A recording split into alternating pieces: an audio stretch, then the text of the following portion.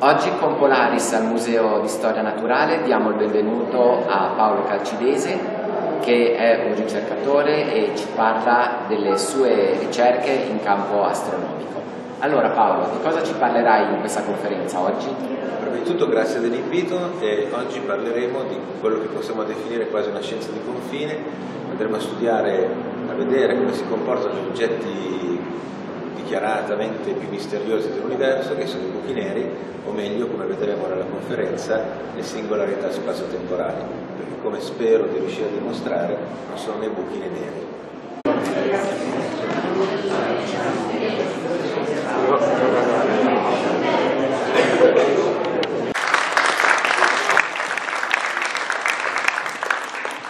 Allora, buongiorno a tutti, mi chiamo Asia Tibi, sono una studentessa di terza M del liceo scientifico Gian Domenico Cassini e partecipo al progetto di alternanza scuola-lavoro di astronomia. Oggi quindi ho il piacere di presentarvi il dottor Paolo Calcidese che eh, ci intratterrà con una conferenza che già dal titolo suscita molto interesse, cioè singolarità spazio-temporali, uno sguardo al di là dell'orizzonte degli eventi. E il relatore di oggi è astrofisico, è ricercatore presso la regione Valle d'Aosta, dove si occupa soprattutto dei nuclei galattici attivi.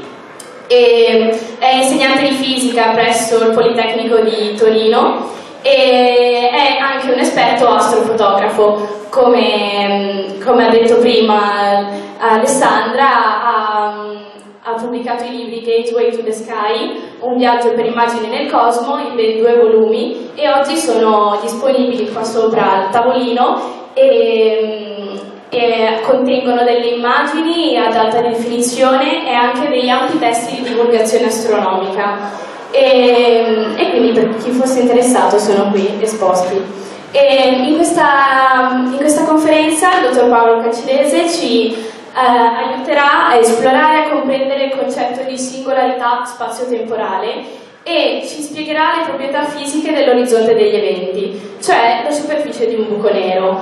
Inoltre eh, il relatore ci parlerà di buchi neri, di mh, evoluzione e morte stellare, di buchi neri supermassicci ehm, andando a verificare il comportamento della dimensione temporale in prossimità di questi affascinanti oggetti e mostrando alcuni dei paradossi più rilevanti. E quindi io vi auguro un buon ascolto e una buona conferenza.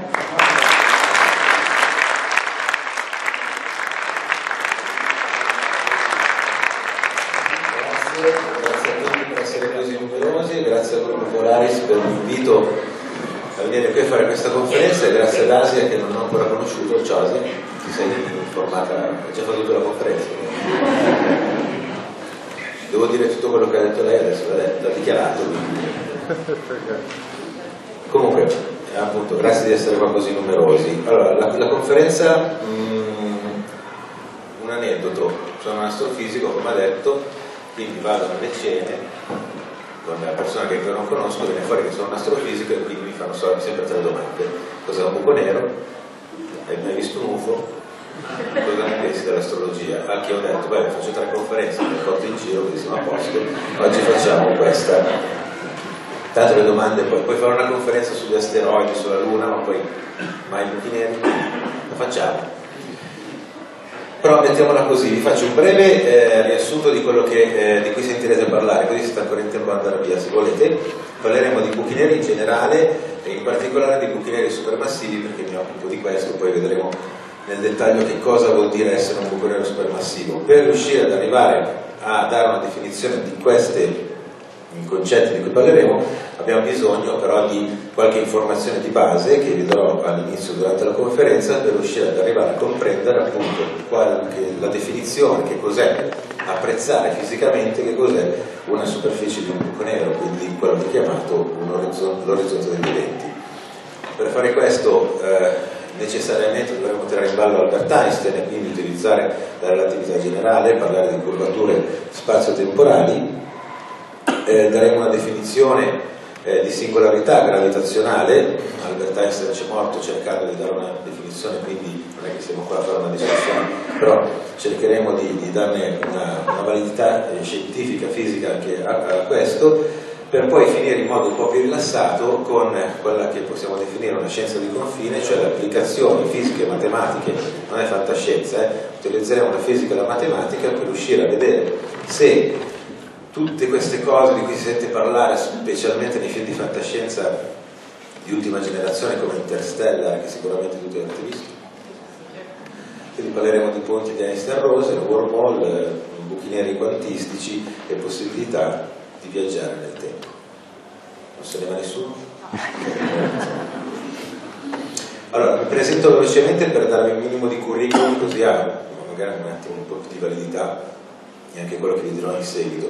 Utilizzerò una scoperta che ho fatto per spiegarvi eh, tutta la concetti importanti di questa conferenza. Allora, io sono un astrofisico che lavora all'Osservatorio Astronomico di San Bartolomé in Valle d'Aosta, eh, sono coordinatore della didattica e della divulgazione, ma eh, come associato dell'Istituto Nazionale di Astrofisica faccio parte del gruppo WET, che è un gruppo internazionale di 41 telescopi in totale sparsi in tutto il mondo, nell'emisfero boreale, eh, che tiene sotto controllo questi oggetti un po' particolari che forse qualcuno di voi conosce come quasar. È una categoria di quegli oggetti che, che studiamo, quindi siamo in tanti, siamo distribuiti su tutto il pianeta Terra proprio per monitorarli 24 ore su 24. Io utilizzo il telescopio principale dell'osservatorio astronomico della Valle d'Aosta, che è un telescopio da 81 cm di diametro, qui mentre lavora di notte con la sua finestra di osservazione aperta, quindi sono membro di questo web dal 2006 e eh, è successo qualcosa nel 2016 che mi ha portato insieme poi a un gruppo di collaboratori appunto del gruppo web a pubblicare questa nuova scoperta sui buchi neri supermassicci sulla rivista Nature che è la rivista più rilevante del mondo. E, e grazie a questa, a questa, pubblicazione sono in tournée però per non spiegarvi solamente che cosa ho visto entrare in dettagli troppo specifici mi è piaciuto eh, parlare un po' più in modo generale di, di, di, questi oggetti così misteriosi utilizzando la scoperta. Eh, se siete appassionati di astronomia riconoscerete questo mh, mm, campo stellare. Perfetto, non è l'orsa maggiore. Di solito quando faccio le conferenze è l'orsa maggiore è sempre fuori, non so perché. Eh, esattamente. La, era per rompere il ghiaccio.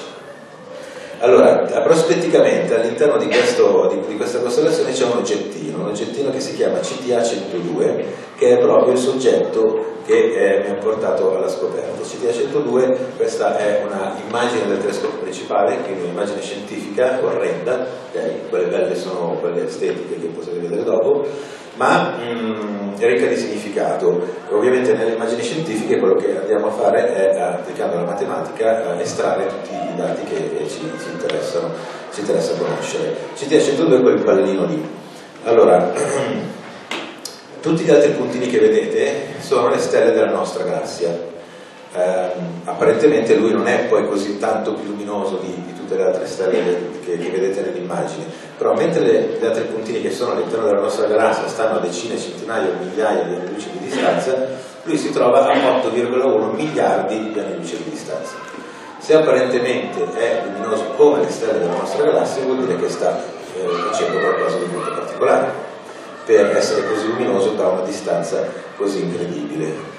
CTA 102 ha anche una storia molto interessante perché già negli anni 50, anni 60 è stato eh, osservato e eh, siccome non si conosceva ancora la natura di questi oggetti un po' particolari che poi prendono il nome di quasar, addirittura nel 1963 l'astronomo Kardashev propone eh, una soluzione al dilemma di CTA 102 perché si sentivano eh, delle, eh, si ricevevano delle gigantesche emissioni dal punto di vista radio provenire da, da quella zona di cielo dove era allocato CTA 102 e eh, l'ipotesi che fu fatta nel 1963 era che in quella, in quella, zona esisteva una civiltà extraterrestre incredibilmente evoluta e in qualche modo stava parlando, cercando di parlare con noi.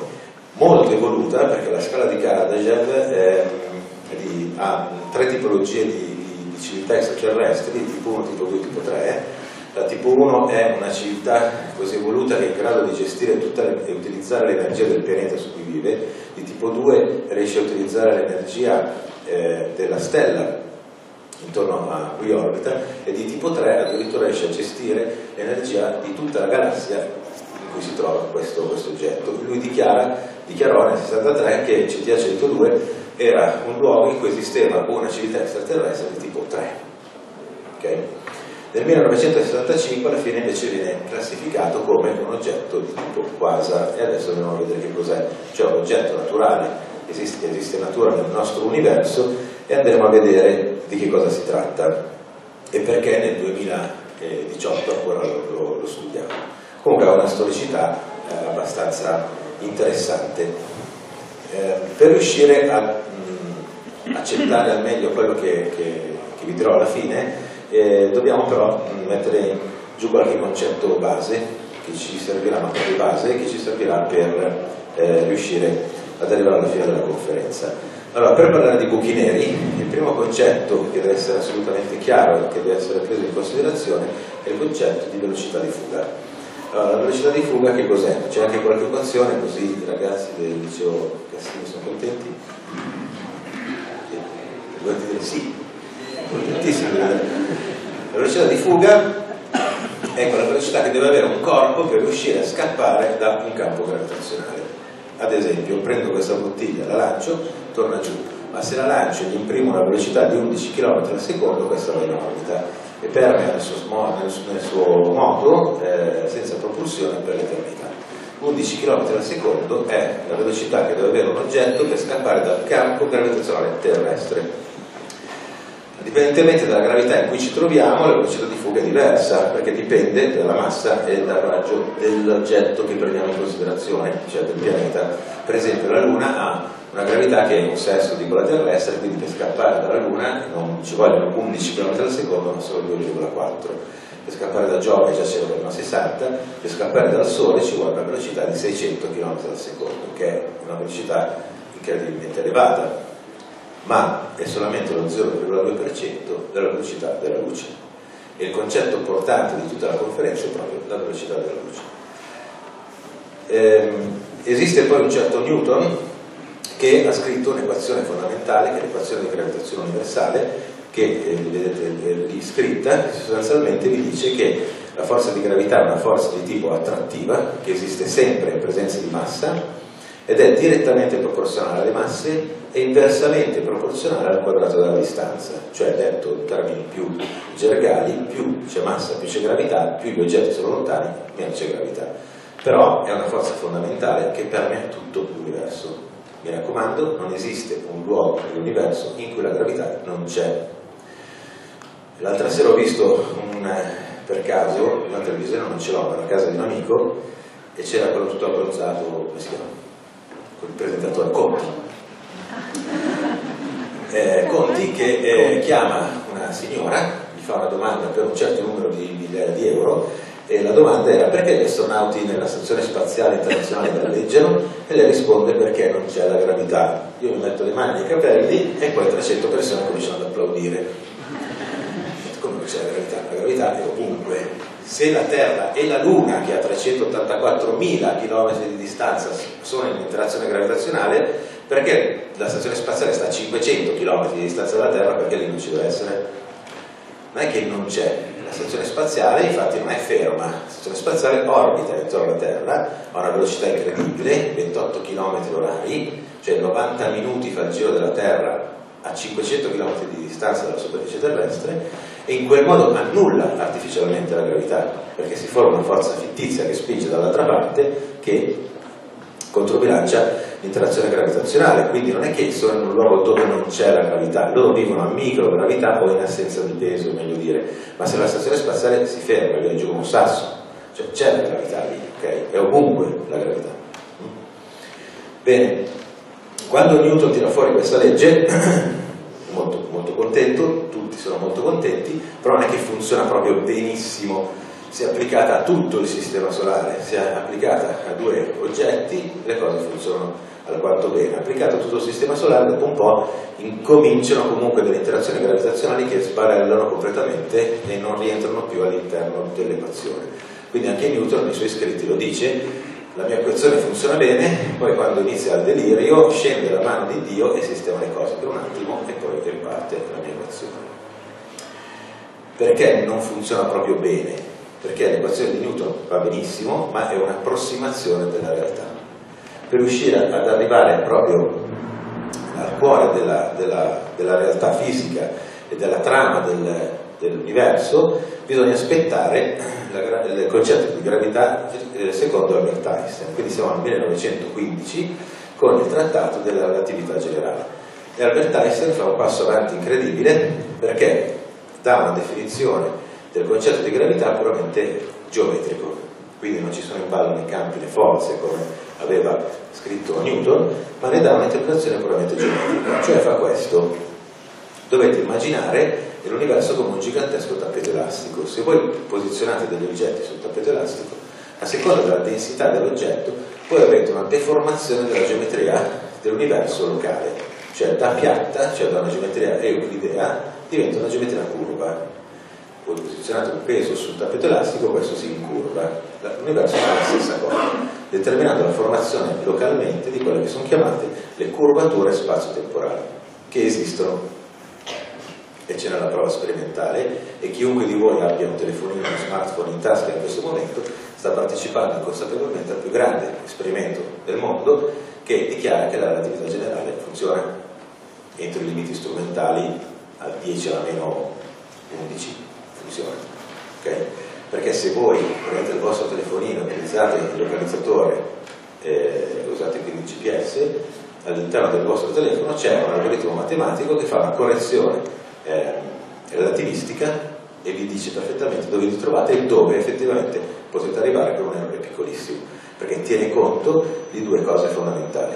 Tiene conto del fatto che la Terra è in curva allo spazio-tempo, quindi la geometria su cui si propagano le onde elettromagnetiche non è piatta, ma è curva, e tiene conto anche di un'altra cosa che indagheremo molto meglio nella conferenza, e cioè che, visto che voi parlate da Terra con un satellite che si trova a 30.000 km di distanza, il tempo, la dimensione temporale, per voi è diversa dalla dimensione temporale che accusa il satellite. Cioè il tempo passa in modo diverso per voi rispetto al satellite. Bisogna fare questa correzione per riuscire ad avere una... perché scorre in modo diverso. Quindi cominciamo a entrare un po' nel delirio mentale. Perché Albert Einstein che cosa dice di fondamentale? La velocità della luce è una velocità incredibilmente elevata, è 300.000 km al secondo, ma è finita. Quindi vuol dire che anche la luce che è l'informazione, seppur viaggiando velocemente, impiega del tempo a percorrere lo spazio. Quindi se io guardo un oggetto a 100 anni luce di distanza, non lo sto vedendo come è adesso nel mio presente, ma lo sto vedendo come era 100 anni fa. Il presente è vincolabile solo all'osservatore, voi siete a qualche metro di distanza da me, io non sono nel vostro presente, voi non siete nel mio presente, frazione di millisecondo, ma è così. Se l'esasperiamo per il cosmo, questa cosa bisogna tenerne conto. Quindi se io guardo un oggetto a una distanza del miliardo di anni luce di distanza, lo vedo come era un miliardo di anni fa, c'è il direi temporale di cui tener conto. Quindi necessariamente se dico dove sto guardando, sto dicendo anche quando lo sto guardando. E quindi l'universo, con Albert Einstein, assume una forma completamente diversa, una definizione completamente innovativa, cioè il concetto di spazio e il concetto di tempo non sono assoluti, ma sono intrinsecamente legati l'uno con l'altro. Quindi l'universo non è una struttura tridimensionale, ma è una struttura quadridimensionale, composta da tre dimensioni spaziali e una dimensione temporale, tutte insieme. Quindi se io incurvo l'universo e determino una deformazione geometrica dell'universo, determino una deformazione geometrica anche nei confronti della dimensione temporale. Quindi se io mi trovo distante, più distante da un campo gravitazionale, il tempo è più libero di fluire velocemente. Io abito a 2000 metri di quota, adesso quando torno a casa, relativamente a voi, io vivo nel futuro, invecchio più velocemente, frazione di millisecondo, ma è così. Okay? Se andiamo sotto intensi, intensissimi campi gravitazionali, come vedremo per un buco nero, una stella di neutroni, allora bisogna proprio tenerne conto. Quindi l'universo è quadridimensionale, si deforma dipendentemente dall'oggetto che si trova localmente e una volta deformato è la deformazione che dice le cose come devono muoversi. Cioè se noi abbiamo un oggetto che si propaga in un, piano euclideo, un piano a un certo punto incontra un avvallamento, ovviamente o cambia traiettoria o cade dentro questa buca. Quindi necessariamente deve seguire la geometria dell'universo. Quindi, specialmente per i ragazzi del liceo, mi raccomando, non esiste solo piano, esistono anche le geometrie curve e, e, e hanno delle leggi completamente diverse. Se voi disegnate un triangolo su un piano, eh, la somma degli angoli interni è 180 gradi, ma per il piano, se voi disegnate un triangolo su un palloncino gonfio, la somma degli angoli interni non è 180 gradi. Due rette localmente parallele non si incontrano solo sul piano, sulla geometria chiusa convergono, sulla geometria aperta divergono. Okay? Quindi bisogna capire bene come localmente si è deformato l'universo per riuscire a, a mm, crearsi una metrica, cioè un modo di misurare la distanza. Perché se tra me e il Signore è piatto, io misuro da B un conto, ma se tra me e il Signore l'universo va così, ovviamente il concetto di distanza cambia. Poi, un altro concetto di cui dobbiamo, su quel filmato ci torniamo dopo, è questo. Eh, prendiamo atto che l'universo è quadridimensionale, la velocità della luce è finita, se guardo lontano guardo dietro nel tempo. Ok? Questo è già. Se, se, se, qualcuno mi dovesse chiedere esiste la macchina del tempo, è facilissimo, guarda forward, la, la volta celeste, tutto quello che vedi non è in diretta, è differita di tempo a seconda della distanza luce a cui si trova, guardando se tu vuoi andare nel passato, allora lì è un po' più complicato, lo vediamo alla fine quando siete devastati, così qualsiasi bene. Allora, eh, quindi Newton e Einstein, mettiamoli un attimo, adesso facciamo una piccola digressione storica per vedere questi buchi neri da dove vengono fuori. Il concetto di stella nera o di buco, nero, di buco nero è, è una definizione del 1967, ma l'idea che potessero esistere oggetti un po' così stravaganti con quelle caratteristiche è già del 1967 e 783 perché John Mitchell già le eh, ipotizza chiamandole stelle oscure che cosa fa? fa una cosa banalissima a cui nessuno aveva pensato prima prende l'equazione della velocità di fuga che avete visto prima la velocità è uguale alla radice quadrata di 2 che è una costante, g che è una costante eh, m che è la massa r che è il raggio e che cosa fa? fa una banale formula inversa cioè dice Supponiamo, non calcoliamo la velocità di fuga, supponiamo che la velocità di fuga sia la velocità della luce. Che massa o che dimensione deve avere l'oggetto per avere quella velocità di fuga? Ok? Gli viene fuori che se esiste un oggetto che ha una densità paragonabile a quella del Sole, ma con un diametro 500 volte superiore, questo oggetto avrebbe un campo gravitazionale così devastante che la velocità di fuga diventa la velocità della luce e le chiama stelle oscure. In parallelo nel 96, sempre 1700 però, eh, anche Laplace arriva alla stessa conclusione, utilizzando una densità superiore perché prende la densità della Terra invece che quella del Sole.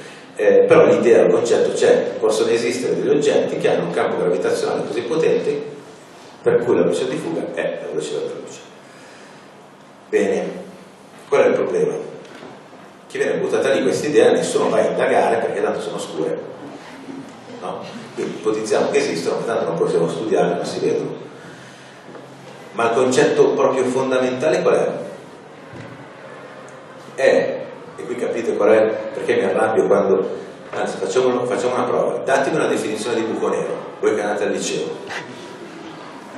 Dai, lo sapete tutti, oppure ditelo voi. Perfetto, questa definizione, cioè un oggetto che ha un campo gravitazionale così potente che anche la luce riesce a sfuggire, è quello che c'è scritto sui libri, sui testi scolastici. Ma se neanche la luce riesce a sfuggire da un campo gravitazionale, necessariamente vuol dire che la luce ha una massa.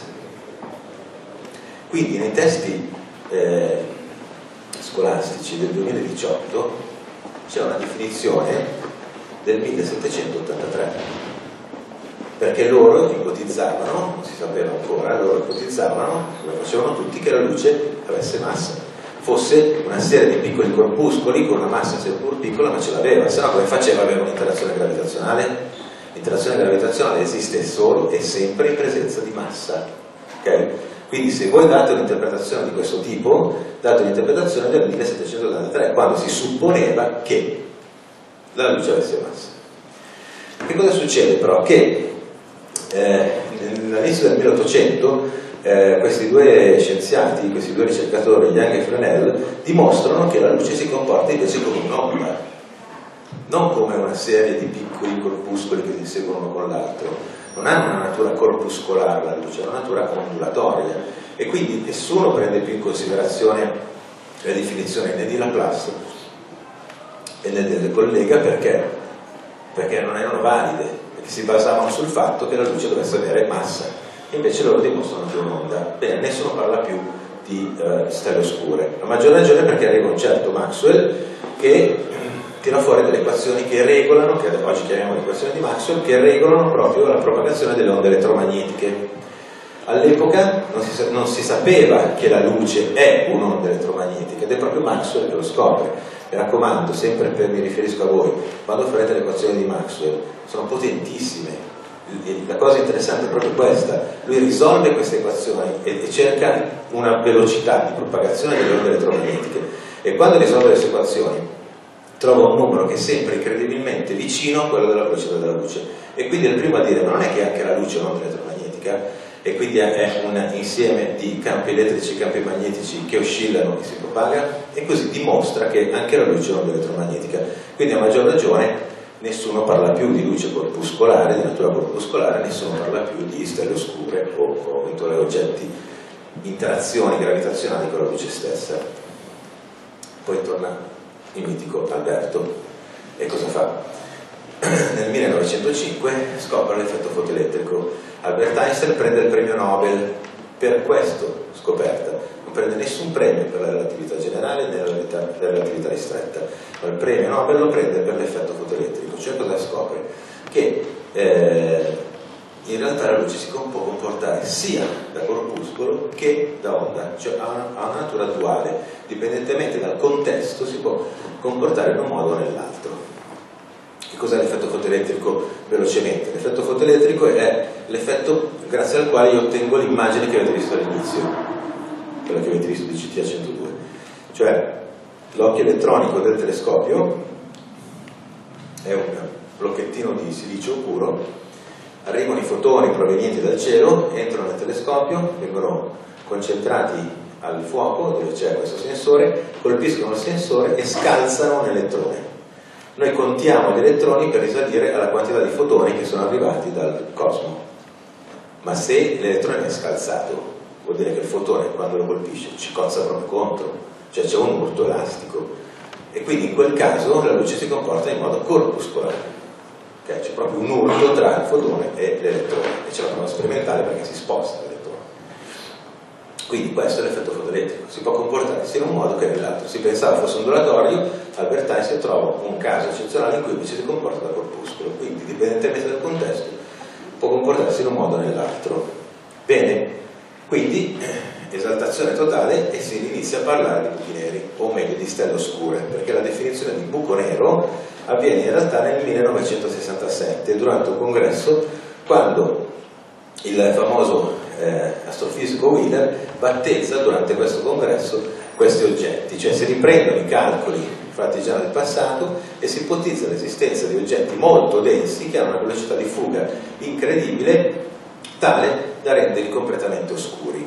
Perché si ipotizza l'esistenza di questi oggetti? Perché poco prima sono state scoperte le stelle di neutroni. Le stelle di neutroni sono degli oggetti super compatti anche loro e sono quasi un buco nero. Cioè se voi prendete una stella, eh, le stelle come gli esseri umani nascono, crescono e muoiono.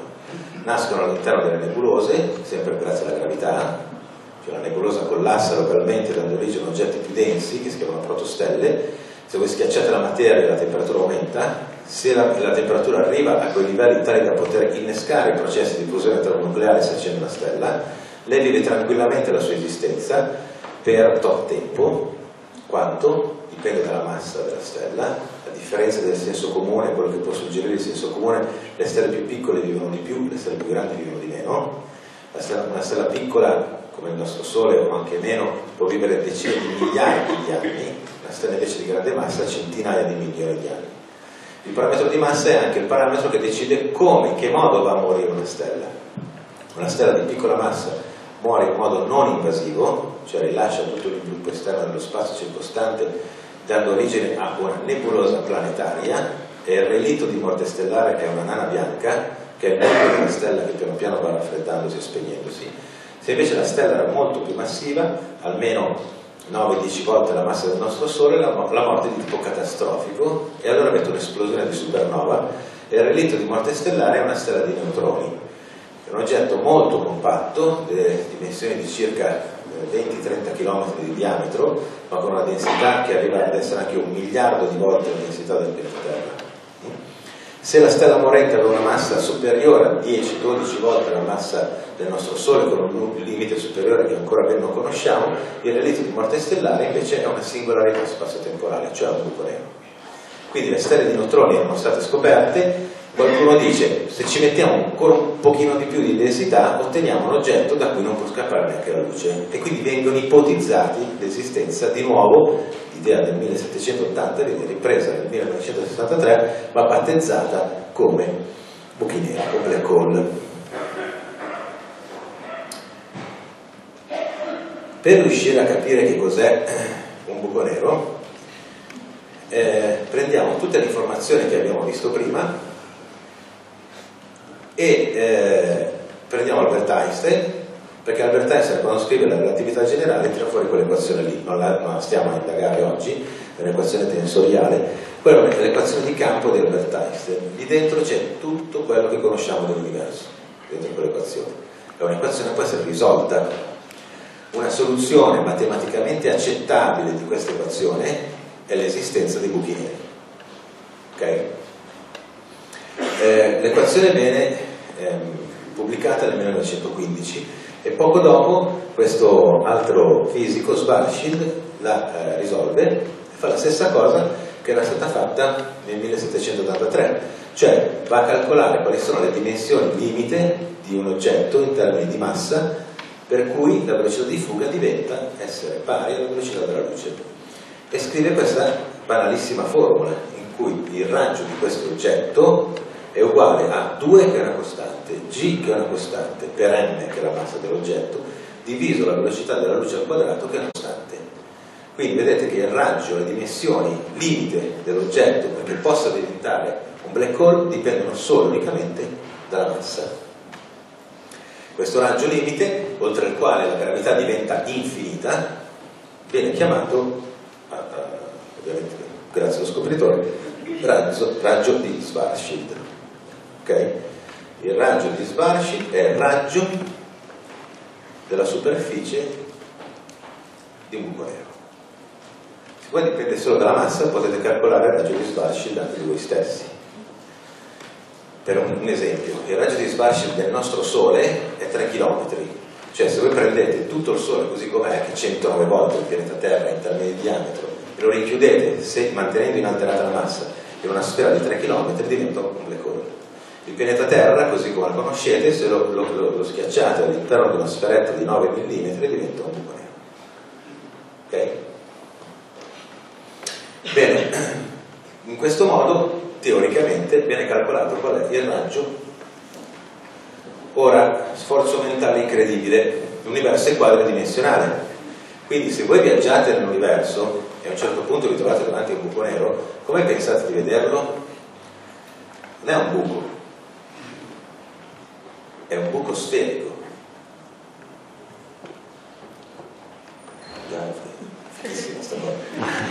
È un buco sferico perché l'universo non è, non è che un foglio dove c'è il buco, è uno spazio quadridimensionale e quindi la struttura, la superficie del buco nero è una sfera, ok?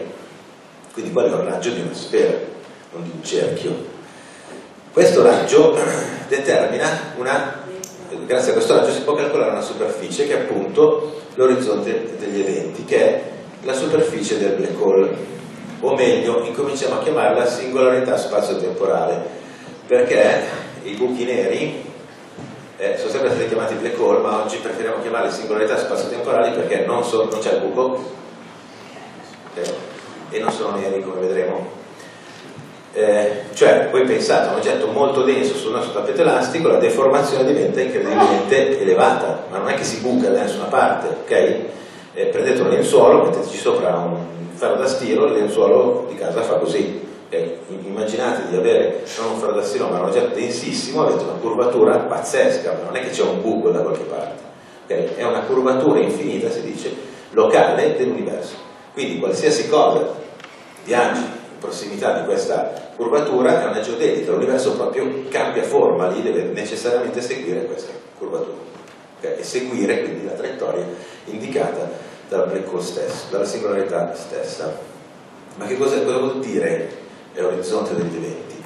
Allora, per riuscire a spiegarla è necessario avere eh, in mente un concetto di fisica che voi sicuramente avete studiato o studierete a breve e gli altri hanno studiato ma probabilmente si sono dimenticati, che è l'effetto Doppler. Siamo sul pezzo? Grande. Uno è con me.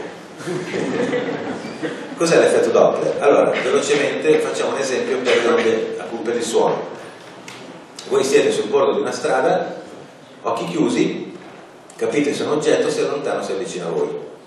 Perché sentite, eh no. Cosa vuol dire? L'oggetto emette una frequenza costante, perché voi sulla macchina sentite, ah, okay. emette una frequenza costante, però si sposta verso di voi, quindi le onde sonore si schiacciano, il suono diventa più acuto, si allontanano, le onde si allungano, diventa più grave. E quindi sentite, ah, ok? Perché insisto su questa cosa? Perché purtroppo nei libri di testo, che classe fate? Terza. Allora non siete ancora stati devastati dalla definizione dell'effetto Doppler, quindi vi salvo. Ma se voi prendete una classe di quinta liceo scientifico eh, superiore, ok? Prossima all'esame di maturità che ha fatto l'effetto Doppler, e gli chiedete che cos'è l'effetto Doppler, loro in coro rispondono ambulanza. Eh? È sbagliato. Eh sì, le spiego subito perché. L'esempio viene sempre fatto con l'ambulanza. Allora, l'effetto Doppler dice il treno va bene, l'ambulanza no. Cosa dice l'effetto Doppler? Cosa dice l'effetto Doppler? Io sto fermo, velocità più uguale a zero, c'è un oggetto che si muove di velocità costante emettendo un suono a frequenza costante.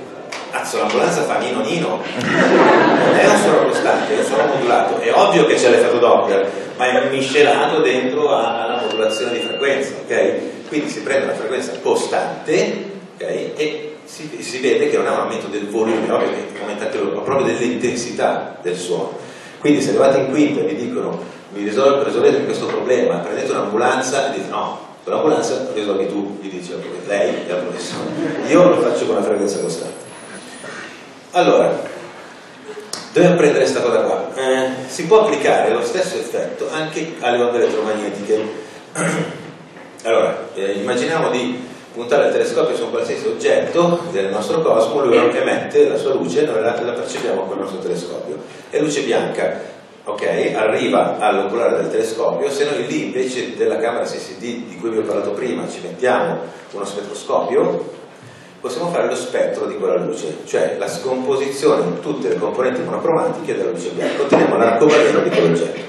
Se andate a guardare l'arcobaleno nel dettaglio vedete un mucchio di linee nere dentro. Queste linee nere si chiamano righe di assorbimento e sono il codice a barre dell'oggetto che state studiando.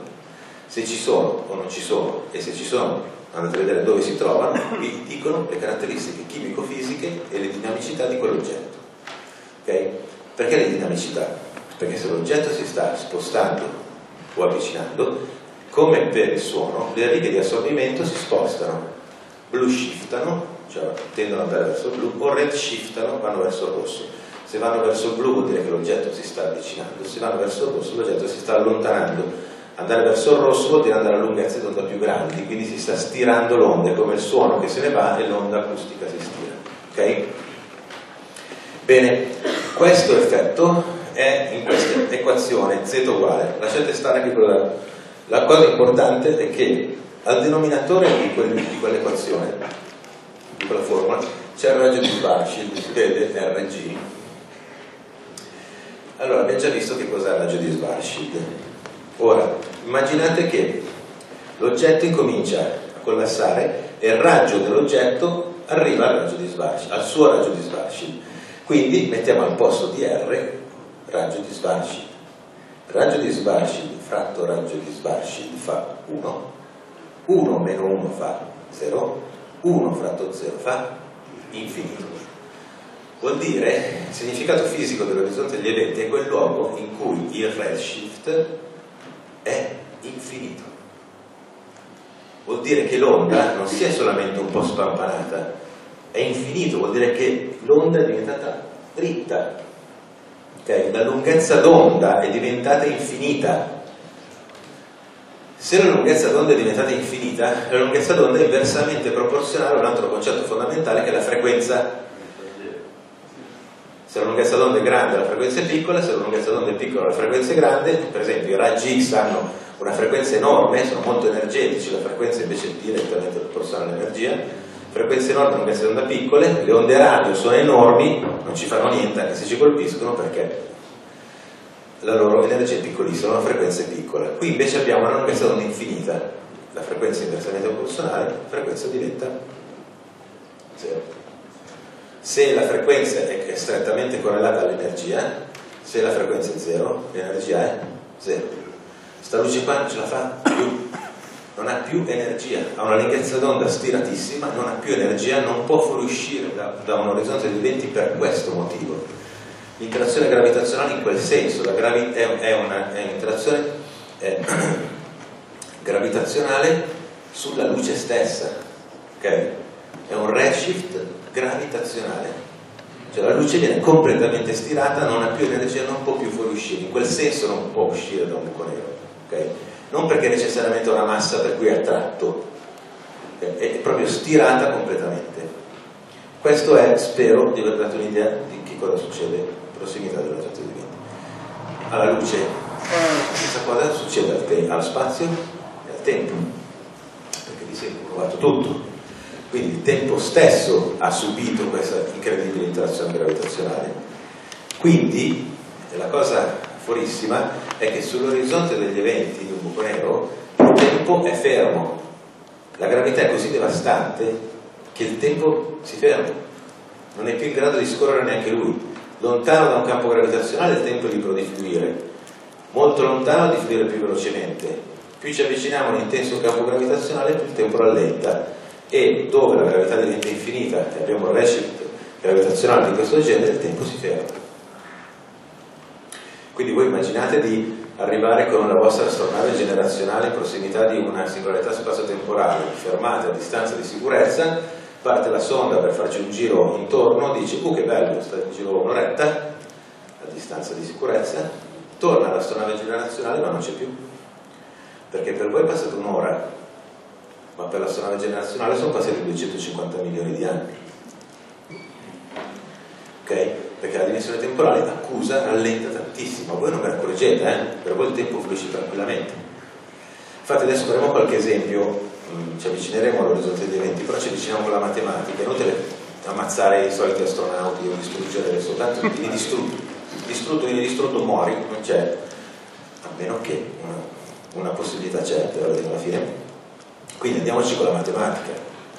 Tanto quando sei in prossimità di un black hole, di una singolarità spazio-temporale, quello che avviene è un processo gravitazionale che gli americani hanno dedicato agli italiani, si chiama spaghettification.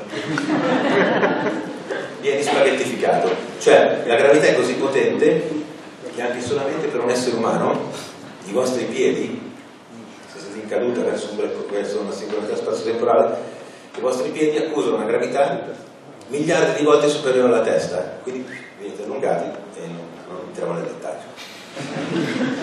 Si muove. Quindi andiamoci con la matematica. Eh, nascosta dentro l'orizzonte degli eventi c'è qualcosa che viene chiamata la singolarità. Allora, primo assunto, tutto quello che stiamo dicendo da adesso in poi specialmente, è valido solo se assumiamo che la nostra fisica e la nostra matematica funzionino anche all'interno di un orizzonte degli eventi. Okay? Eh, l'orizzonte degli eventi è, è una finestra per un'altra realtà, è la fine dello spazio e del tempo del nostro universo, quindi di là boh, dobbiamo ipotizzare che funzioni anche di là la nostra fisica e la nostra matematica. Cosa c'è lì dentro? Una singolarità. Albert Einstein appunto ci è impazzito questa cosa, quindi non stiamo tanto a dare una definizione, però sappiate che Singolarità cosa vuol dire? Vuol dire che se risolvete le equazioni è una cosa che dà molto fastidio a noi fisici e ancora di più ai matematici. Quando risolvete un'equazione vi viene diviso zero, eh, ci girano le balle. Quell'infinito è una singolarità, ok? È l'unico modo per... è nascosto, guarda caso, dietro un orizzonte degli eventi di un buco nero, nero, materia oscura, ok? Quando noi fisici non sappiamo di cosa stiamo parlando, oscuro o nero, in buona sostanza. Matematicamente esiste, è un'entità che esiste e la definizione vi lascia un po' perplessi perché è un luogo dove la densità è infinita. C'è sempre quella diviso il zero per cui vi viene una roba infinita. E questa cosa fa impazzire Albert Einstein, ok? Tanto che dice no, Schwarzschild ha sbagliato a risolvere le mie equazioni, adesso vi dimostro che ha sbagliato. Questa cosa la fa nel 1935 e dimostra una cosa ancora più incredibile che vi dico dopo. Okay? Schwarzschild risolve l'equazione di campo per un buco nero statico sferico, quindi proprio la cosa più semplice che può esistere, statico e sferico. Okay? Ma in natura, avete mai visto un pianeta che sta fermo? Una stella che sta ferma? Ruotano. Okay? È una semplificazione quella di Schwarzschild e bisogna aspettare il 1963 per farsi venire veramente mal di testa perché Kern, il fisico Kern, riesce a risolvere l'equazione di campo dell'Albert Einstein e trova una soluzione molto più prossima alla realtà per un buco nero rotante. Se un buco nero ruota, succede matematicamente, sto parlando sempre dal punto di vista matematico, succedono delle cose bellissime. Prima di tutto, lo spazio-tempo non è solo incurvato, voi pensate a una gravità pazzesca, una curvatura incredibile, ma che in più ruota. Quindi lo spazio-tempo viene arrotolato, arricciolato, si chiama effetto Lens Stirling, viene arricciolato come un cavatappi, quindi c'è un vortice di spazio-tempo. E in più dall'equazione viene fuori che la singolarità non è un punto, una sferina piccolissima a densità infinita, ma è un anello. Okay? Ruotando si forma una singolarità d'anello e per definizione, se è un anello, ci si può passare attraverso. E allora qui il fisici teorici incominciano, wow. Okay. Da lì a poco abbiamo la prova sperimentale che i buchi neri esistono veramente, no? grazie anche agli studi di Stephen Hawking e, e, tanti altri astronomi che hanno passato notti e notti e grazie al fatto che è nata l'astronomia X e gamma, cioè l'astronomia ad alte energie, sono stati scoperti poi i buchi neri. Non sono più un'ipotesi puramente matematica e teorica, perché ci sono volute anni e quindi si sono dovuti sviluppare le sonde a raggi X e raggi gamma. I buchi neri non sono osservabili nel visibile, non, non potete osservare la causa, non potete vedere l'orizzonte degli eventi, ma potete vedere il disastro che fa in quella zona di universo una singolarità spazio-temporale. Quindi applicate il principio di causa ed effetto, studiate gli effetti e risalite le cause, vedete la causa prima forse fra due o tre anni riusciremo ad avere un'immagine incredibile del, del buco nero supermassivo della nostra galassia però ad oggi con i telescopi più potenti che abbiamo si riesce a vedere proprio le stelle prossime al centro della nostra galassia che orbitano sempre più velocemente intorno a qualcosa di nero che non si vede okay? addirittura è stato una, una, è stata ottenuta una prova sperimentale eh, mese scorso della stella X, 2 non so se, S2, non so se avete visto il filmato, si vede questa stella che passa molto vicino all'orizzonte degli eventi, però ancora a distanza di sicurezza, la stella è una stella blu, diventa rossa e poi torna ad essere blu cioè c'è un effetto di redshift, redshift, gravitazionale sulla luce emessa dalla stella, passa così vicino al, all'orizzonte degli eventi che si arrossa perché la luce che tende da, da uscire da quella, da quella, stella viene stirata gravitazionalmente nella presenza dell'orizzonte degli eventi. Quindi le prove adesso ce le abbiamo. Se si forma un anello, eh, dovete, potete passarci attraverso, è vero. E dove finite? Lo vediamo dopo però dovete azzeccare il momento angolare giusto e la traiettoria giusta per passare proprio in mezzo. Perché se per caso sbagliate e finite sull'anello eh, l'anello è un loop temporale chiuso. Il tempo è fermo e in più un loop temporale chiuso. Quindi voi eh, arrivate su un anello e dite wow che bello, sono sulla singolarità. Fate tutto il giro, arrivate, state per arrivare da dove siete partiti e vedete voi stessi che entrano e dicono wow che bello. Ritornate qua e vedete voi stessi che entrano e dicono wow che bello. È un loop temporale chiuso, il tempo è fermo e poi chiuso su se stesso. Okay? Per riuscire però ad arrivare fino lì eh, deve accadere qualcosa. Allora, i buchi neri statici di morte stellare, i buchi neri anche rotanti di morte stellare, quelli di cui abbiamo parlato prima, sono molto piccoli, hanno una densità incredibile, possono essere grossi come questa stanza, quindi necessariamente venite distrutti. Però esiste una categoria di buchi neri un po' più particolare, di singolarità spazio-temporale un po' più particolare, che adesso, dopo questo video, andiamo ad analizzare. Allora, questo video vi fa vedere il nostro Sole che per diventare un buco nero, la singolarità spazio-temporale deve essere chiusa all'interno di un raggio di 3 km. Quindi dobbiamo chiuderlo in, in qualcosa che può essere paragonabile adesso vi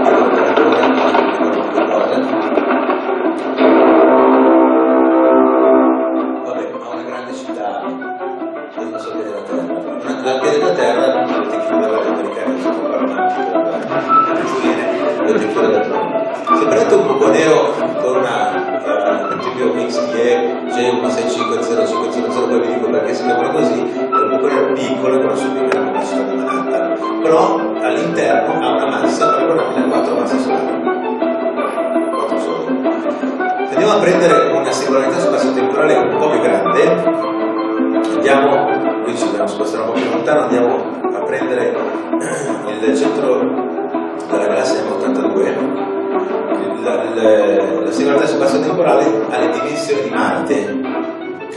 E contiene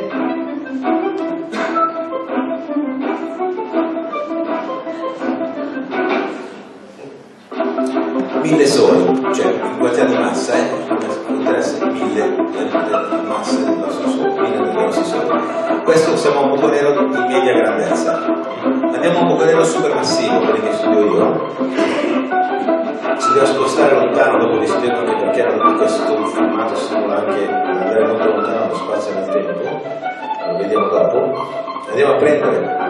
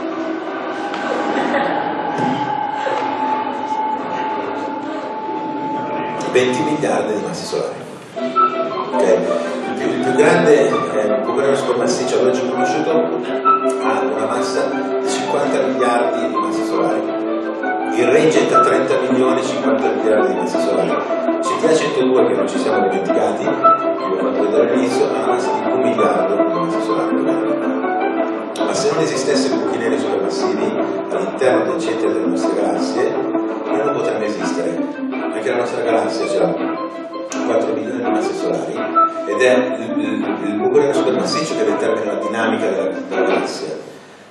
Quindi la galassia muovendosi fa sì che i gas cominciano a scontrarsi e di conseguenza cominciano a formarsi nuove stelle, dagli sistemi solari, quindi sono loro che governano la dinamica della galassia stessa. Bene, quindi abbiamo buchi neri di morte stellare, ma abbiamo anche questi buchi neri supermassicci. Io come al solito scorro sempre, per adesso è già passata un'ora, io vado, se non ce la fate più mi dite, muoiola lì, eh. ma ci siamo quasi. Eh, eh, Un'ora e mezza? Ah, un'ora e mezza? Ah. Buco nero è supermassiccio, è un nucleo galattico attivo, così sono chiamate la categoria qua, nuclei galattici attivi. Uh, ad oggi sappiamo che all'interno dei centri di tutte le galassie c'è un buco nero di queste categorie qua, quindi con masse enormi. Però ce ne sono alcuni che sono attivi, altri no. Cioè se voi guardate le galassie entro più o meno un miliardo di anni luce, sono più o meno come la nostra galassia, galassia tranne qualche rara eccezione. Tra 1 e 9 miliardi di anni luce di distanza, invece più, andate quindi a guardare molto nel passato dell'universo, trovate invece quelli attivi. Cosa vuol dire attivi? Vuol dire che perpendicolarmente dal disco della galassia fuoriescono dei giganteschi getti di materia e di energia. Quindi questi buchi neri supermassicci sputano fuori una valanga di roba, in più sono anche rotanti. Okay? Una, queste, una delle tante classificazioni sono per esempio i quasar. Sono stati studiati per parecchio tempo, oggi con la rotazione estrema e la deformazione spazio-temporale ah, i buchi non sembrano più semplici eh, che di ciò che hanno intorno. Eh, immaginiamo di avvicinarci, incontrare che oltre il 40% della polvere e dei gas della non entra mai nel buco nero. Solo una volta dentro il buco ok? E, eh, ma vicino a questo buco, vicino a questo buco sferico si forma un disco di accrescimento, cioè la materia incomincia a cadere verso la l'altra spazio temporale, si forma quindi questo disco di accrescimento enorme, la materia vorticosamente ruota, per viscosità aumenta tantissimo la temperatura diventa un plasma, quindi particelle cariche, se sono particelle cariche in movimento innescano un campo magnetico, quindi si forma una gigantesca gabbia magnetica intorno all'orizzonte degli eventi, la materia quindi cade, se è al di là della gabbia magnetica viene raccolta dalla gabbia magnetica e sputa da fuori sotto forma di questi giganteschi getti di materia e di energia. Arrivano a centinaia di migliaia di anni luce di distanza questi getti, sono delle missioni potentissime. L'unico motore che conosciamo che può fare una roba del genere è il buco nero supermassiccio, quindi con massi di quello che avete visto, e in rapida rotazione. Okay? Tutto ciò invece che entro il limite di sicurezza cade inesorabilmente verso la singolarità. Più o meno però un buco si mangia il 40% della massa che gli gira attorno, perché deve essere molto vicino, quanto il limite di sicurezza per un black hole è 3 raggi di Schwarzschild, cioè a seconda dell'oggetto, quindi che ha il suo raggio di Schwarzschild, riprendiamo il Sole 3 km, se voi vi trovate a 3, 6, 9 km di distanza non siete risucchiati cioè se il nostro Sole diventa un buco nero potete andare a 9 km di distanza e guardare e non essere risucchiati verso la singolarità. Okay? Quella è la distanza di sicurezza. Entro quella distanza inesorabilmente cadete verso la singolarità. Se state lì sul limite, girate per l'eternità intorno alla singolarità, fuori vi salvate, però tenete sempre conto della dimensione temporale. Cioè dal di là l'eternità schizza via una velocità incredibile. Okay? La cosa interessante tra le tante per i buchi neri supermassicci è che non sono incredibilmente densi, hanno una densità che è anche inferiore a quella dell'acqua, però riescono comunque, essendo incredibilmente massivi, a deformare l'universo così tanto da creare una singolarità spazio-temporale. Se ha una densità che è anche inferiore a quella dell'acqua, vuol dire che se voi vi tuffate dentro un orizzonte degli eventi di un buco nero supermassiccio, la forza che percepite addosso a voi è paragonabile a quella che, che percepireste partendo con un aereo per un volo intercontinentale. Quindi non venite distrutti subito come per un buco nero di morte stellare. Okay?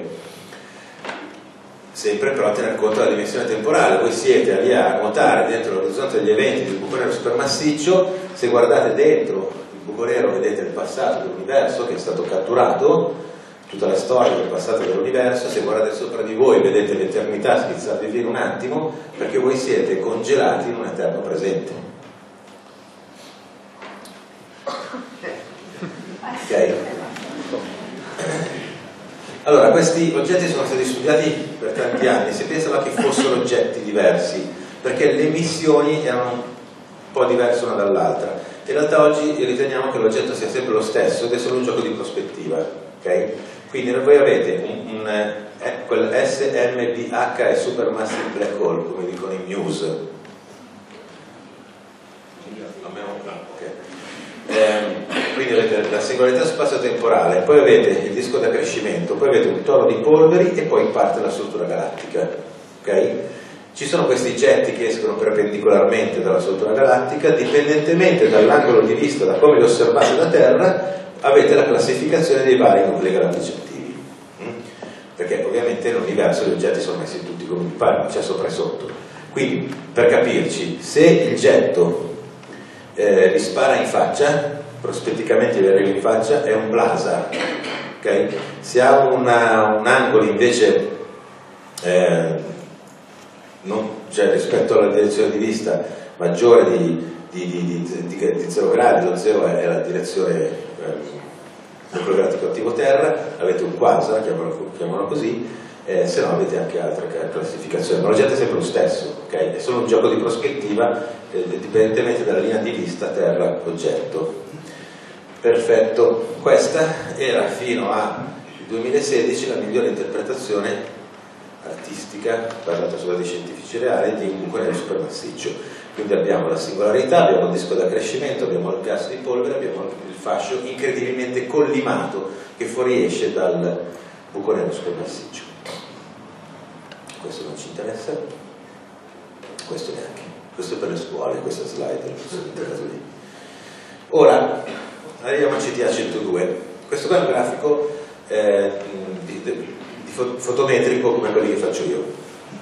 Allora, praticamente voi avete eh, la magnitudine, che è un modo di misurare la luminosità dell'oggetto, più aumenta la magnitudine, più l'oggetto è, è, meno luminoso, okay? cioè l'oggetto di ventesima magnitudine è molto meno luminoso di un oggetto di decima magnitudine, che è una scala al contrario rispetto alla luminosità standard, e sotto vedete il tempo che passa. Eh. Quindi il tempo passa, io guardo l'oggetto col telescopio, faccio un'immagine, calcolo che luminosità A, luminosità A, metto un puntino. E così faccio un'indagine quantitativa di quanta luce mi arriva da questo oggetto nel tempo. Lui era già stato studiato per parecchio tempo e nel 2012 aveva avuto un picco incredibilmente elevato di luminosità. Questi oggetti di tanto in tanto hanno un picco di luminosità pazzesco, okay? aumentano, non sappiamo bene perché, la loro luminosità per poi riscendere. È una scala logaritmica, vabbè, non entriamo nel dettaglio, ma tenete conto che quel picco lì del 2012 vuol dire che l'oggetto CTA102 era diventato circa 12-13 volte più luminoso del normale. 12-13 volte più luminoso del normale era entrato nella storia mai si era vista un incremento di luminosità del genere. Che cosa succede? Eh, allora, siamo alla notte del 30 novembre del 2016, ma ricordo benissimo che sono le 11.34 minuti meno mi arriva l'allerta sul cellulare da il gruppo internazionale, questi sono telegrammi mondiali, astronomici, li mandiamo quando riteniamo che succeda, stia succedendo qualcosa per avvisare la comunità scientifica. Mi arriva questa informazione mi dice guarda che eh, abbiamo visto che CTA 102 sta facendo qualcosa di, di, secondo me di incredibile allora, lo vediamo con una luminosità molto elevata di un certo valore. Allora io sono lì che scalpito a casa sono 11 e mezza non posso andare all'osservatorio perché ho un bambino di due mesi in braccio. Mica lo posso buttare lì a mia moglie andare via no? allora sono lì con il bambino che ovviamente non voleva dormire grazie a lui leggo il messaggio perché magari ero sbragato a letto lo chiamo la mia collega che era in osservatorio e gli dico fai un'immagine mando al volo le coordinate e lui mi dice guarda che sta tramontando, ho detto lo so, quindi facciamo in fretta, lui posiziona il telescopio e fa un'immagine, un punto. Il giorno dopo scendo all'osservatorio, faccio l'indagine matematica su quell'unico punto che avevo e mi viene coerente con il valore che mi davano questo eh, signore che Baronek che è l'altro che fa parte del nostro gruppo, che se non sbaglio quella sera era in Svezia. Allora è coerente, sta aumentando la luminosità, bene, quindi continuo ad osservarlo, continuo ad osservarlo, continuo ad osservarlo, finché l'1 dicembre, sostanzialmente la sera dopo, questa è la curva che ottengo. Il punto che vedete in basso a sinistra è il, punto che aveva lo stesso valore del, del mio collega. La sera dopo lo vedo lì, è una scala logaritmica quella, quindi l'incremento di luminosità è impressionante. Rifaccio i calcoli 3000 volte perché eh, mandare un'allerta, è un'allerta mondiale, se sbaglio fa la figura un'allerta mondiale. Allora, mando e dico guardate ragazzi che è molto più eccezionale di quello che, che era ieri. Secondo me vale la pena osservarlo.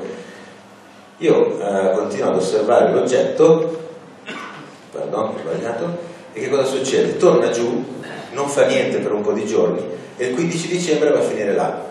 Finire là vuol dire che l'oggetto è diventato non 12 volte la storia, ok?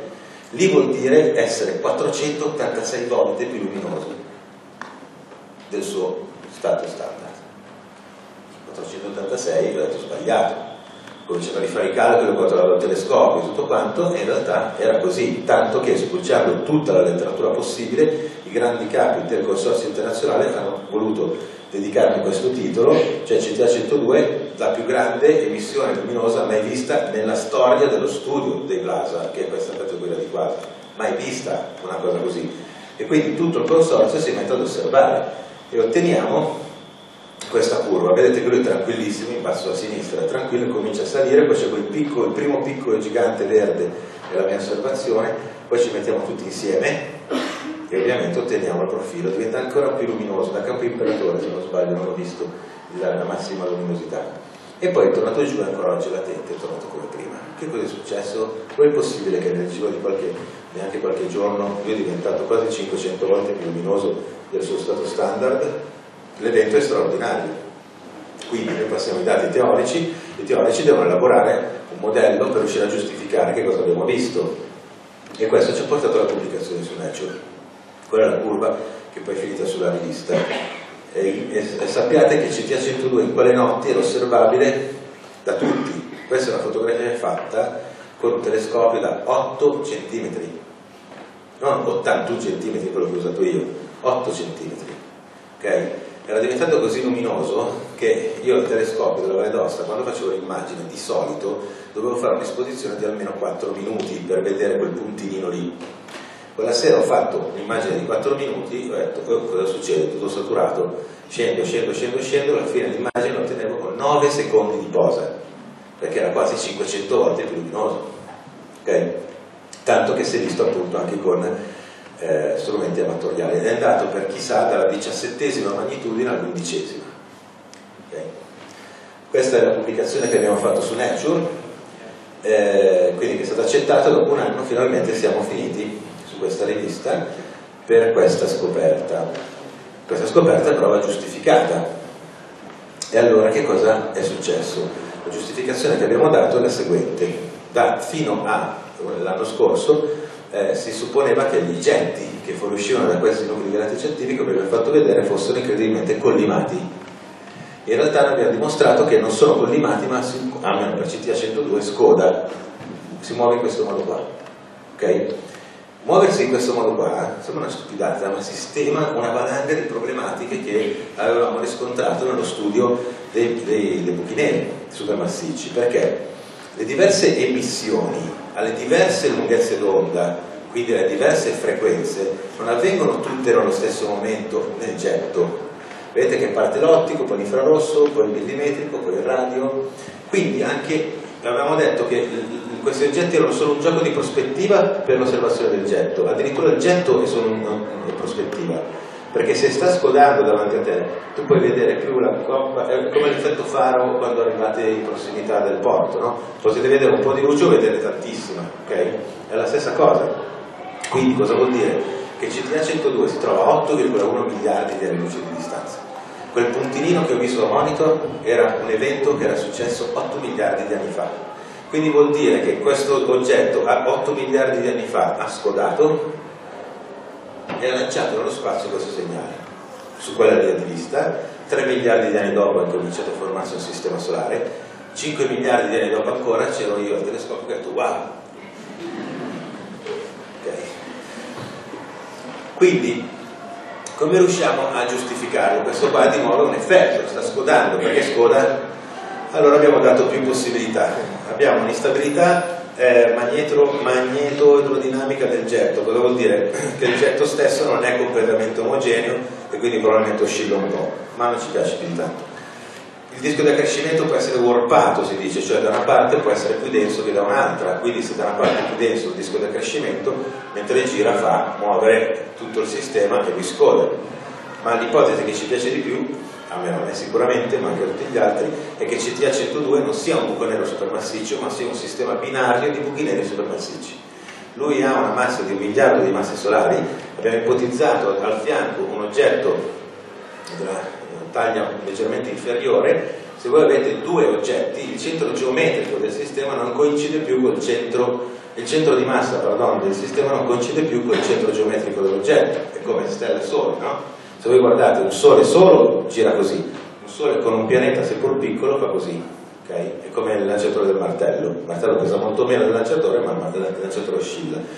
E quindi se noi, voi gli mettete di fianco un, un compagno, il sistema CTA102 oscilla così tanto da poter giustificare l'effetto di scodamento.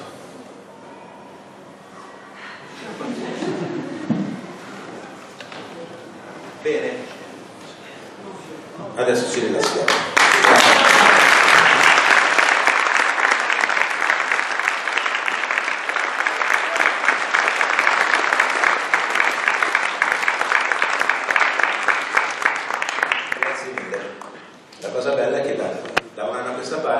fa l'interpretazione artistica fa il getto così e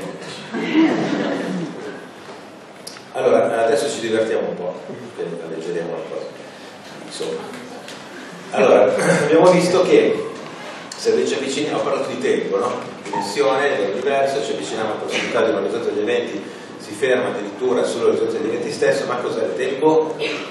chi ha il coraggio di darmi una definizione di tempo? io non ce l'ho infatti mi affido al tempo eh, cosmologico, cioè quello che segue l'aumento del, del, dell'entropia, del, del, caos dell'universo.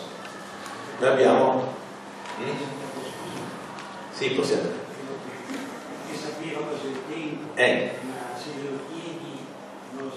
Non so più, certo, infatti, esatto. Cioè, sostanzialmente quello che possiamo dire è che noi percepiamo un, un, una direzione psicologica, no? adesso è sera, poi viene la notte, okay. ci serve come dimensione perché eh, oggi mi ha detto di, di, venire qui, ma se mi dice ma che ora, io che facevo, ok, quindi cioè, ci serve anche come coordinata proprio. Va? Si, si dice che va verso quello che definiamo il futuro ma il tempo passa in modo diverso a seconda del campo gravitazionale, quindi parlare di passato, presente e futuro diventa un po' macello futuro non è ancora avvenuto, il passato per definizione non esiste più, il presente sostanzialmente non esiste perché diventa già qualcos'altro, quindi qualcuno ha ipotizzato che il tempo non esiste neanche. Ma la domanda che si è sempre posti, che fa anche eh, abbastanza diventare matti, è se si può viaggiare nel tempo. Allora, è possibile viaggiare nel futuro? Assolutamente sì, l'abbiamo appena dimostrato, basta avvicinarsi a un intenso campo gravitazionale viaggi nel futuro, perché quando torno indietro di là il tempo è schizzato via, no? Questo è anche stato misurato sperimentalmente, cioè hanno messo due orologi atomici, uno sulla Terra e uno su un lavoro intercontinentale, due orologi portati lì, quello suo era andato più avanti, ok? E il discorso di prima dei GPS. E viaggiare nel passato invece allora, qua diventa un po' un macello, nel senso che il problema non è tanto di fisica matematica, ma è un problema di logica. Cioè, se provate a pensare di fare un viaggio nel passato, eh, incappate necessariamente in quello che si chiama un paradosso. Per esempio, come si chiama? Miranda. Miranda dice, adesso torno indietro nel tempo a trovare me stessa. È già paradossale, perché? sono giochi mentali, eh? quindi ci, cioè, eh, magari ci rimanete perplessi, poi ci pensate stasera, perché non può dire una cosa del genere? Non tanto che è qua, se, se dovrebbe già essere consapevole di averlo fatto. Perché è già successo. Eh. Quindi capite che anche solamente per una cosa così banale eh, ci sono dei paradossi che ti fanno diventare un po' matto ma c'entrano con la fisica.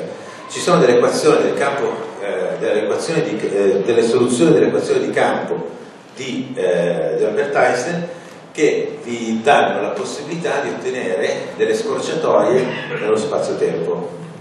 È quello che vi dicevo prima, Albert Einstein si arrabbia per la soluzione di Schwarzschild, nel 1935 chiama il suo amico Rosen e dice adesso ci mettiamo a tavolino e dimostriamo che Schwarzschild aveva sbagliato, perché questa cosa della singolarità a me non mi va giù cercano di dimostrare che Schwarzschild ha sbagliato, dimostrano l'esistenza matematica dei ponti di Einstein-Rosen, cioè la possibilità di passare dal nostro universo a universi paralleli attraverso un cunicolo spazio-temporale, in cui una singolarità in quel caso è ad anello. Vi ricorda qualcosa quella roba lì? O il discorso che ho fatto? Grandissimo, ma non è quello. un po' prima, un 200 anni prima, L'avete detto tutti da piccolo, piccoli. Alice nel Paese delle Meraviglie. Alice nel Paese delle Meraviglie che cosa fa? Entra nella tana del bianconiglio, finisce attraverso un cunicolo e arriva sostanzialmente in un universo parallelo, in cui le cose sono fuorissime, succedono delle robe pazzesche. Okay? La cosa interessante è che questo eh, Alice nel Paese delle Meraviglie è stato scritto da eh, Dobson con uno pseudonimo Lewis Carroll si fa chiamare e scrive però le, le avventure di Alice nel Paese delle Meraviglie nel 1865 la teoria della relatività generale viene pubblicata nel 1915 i wormhole vengono matematicamente dimostrati nel 1935 lui nel 1865 scrive questa cosa, scrive anche altri, era anche un matematico, scrive anche altri racconti in cui gioca col tempo e le distorsioni temporali. Qualcuno ha pensato fosse un crononauta che sapeva che era andato sperimentalmente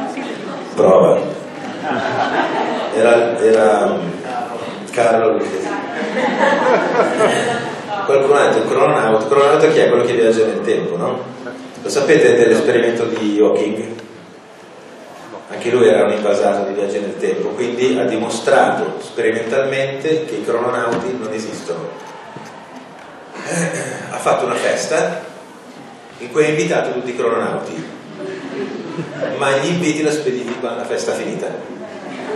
Alla festa non si è presentato nessuno. C'è una mitica foto di lui con i palloncini sulla sedia rotelle e questo salone l'ha addobbato e non si è presentato nessuno. Ha fatto la festa ma gli inviti la spediti dopo, quindi se era cronauta dovevi presentarti. Fighissimo. Non si è presentato nessuno. Comunque vi scrive questa cosa interessante perché quindi vedete che giocando con la topologia, cioè con la geometria, con la matematica, si possono ottenere cose incredibili, l'esistenza appunto di, eh, anche di ponti di Einstein-Rosen. Poi ci sono i wormhole proprio puri, che invece sono un'altra cosa, sono matematicamente accettabili, teorizzati più che altro dalla meccanica quantistica, eh, da Kip Thorne, è uno dei più grandi conoscitori di, di wormhole, Kip Thorne è la persona, il fisico, il più grande conoscitore dell'attività generale vivente che ha, mh, mm, aiutato eh, per, per, il film Interstellar, no? cioè il fisico che è stato...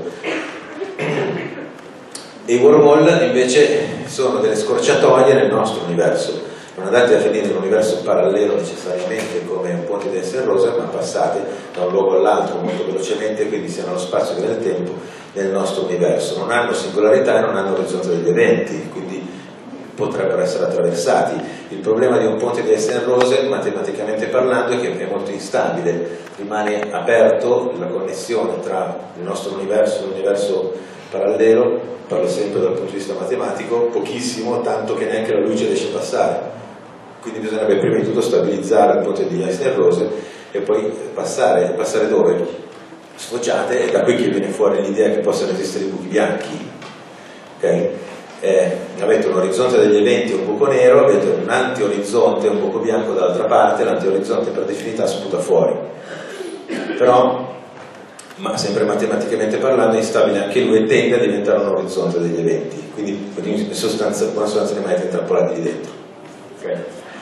eh, sembra tutta roba da fantascienza, ma i buchi bianchi sono, se, qualcuno li cerca, sono stati cercati. Quando hanno cominciato fotometricamente a vedere l'emissione dei quasar negli anni 70, si pensava che finalmente di aver trovato i buchi bianchi, cioè delle emissioni incredibili di materia che vengono fuori da, da qualcosa, qualcuno aveva ipotizzato che fossero buchi bianchi, cioè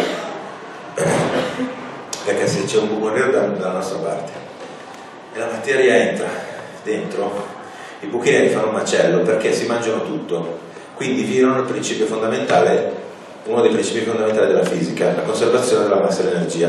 Non ti puoi mangiare tutto e non dare niente. Quindi o ti mangi tutto in scale cosmologici poi mi ridai tutto, oppure se ti mangi tutto deve andare da qualche altra parte. Quindi era stata ipotizzata l'idea che questa materia dovesse sfociare da qualche altra parte.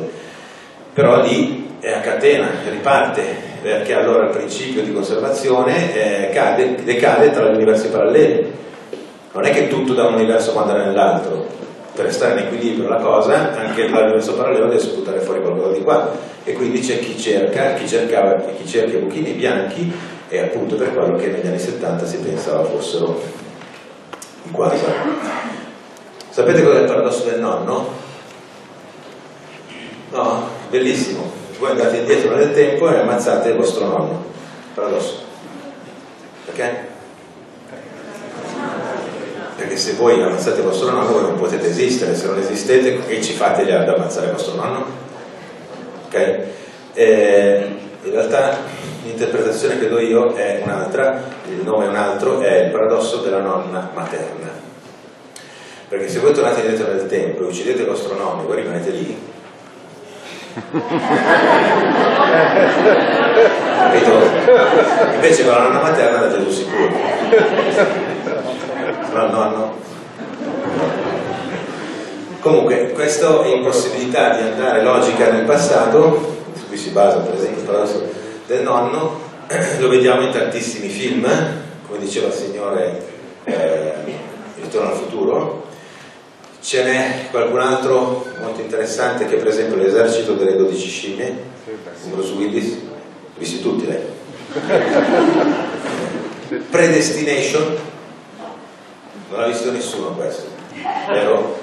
È bellissimo, è uno, visto, è uno dei più belli in assoluto, grande, uno dei più belli in assoluto, andate a vedere, eh, guardatevelo, c'è anche un delirio biologico di mezzo, ma lasciate stare, sì, ci diventate matti, andate poi su Lega Nerd e cercate la, la spiegazione. Eh, per Interstellar scaricatevi la timeline prima di guardare il film, se no non ci capite niente, mi raccomando.